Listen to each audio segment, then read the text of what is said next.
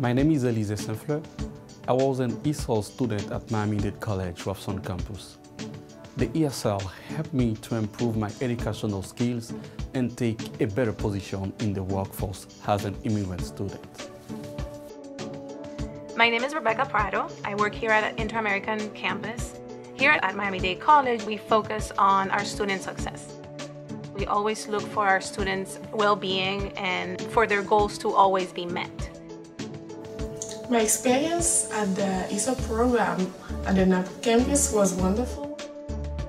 I recommend the ESOL program because it helped me to fulfill my dreams and it helped me to get a better job and pursue a career. I came to this country 10 months ago. For me, communication is one of the most important things in the world.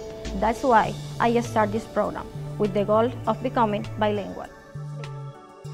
The reason I want to study in Miami-Dade College because uh, language is the key.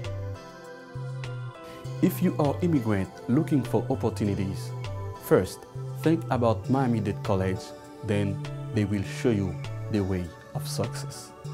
Thank you.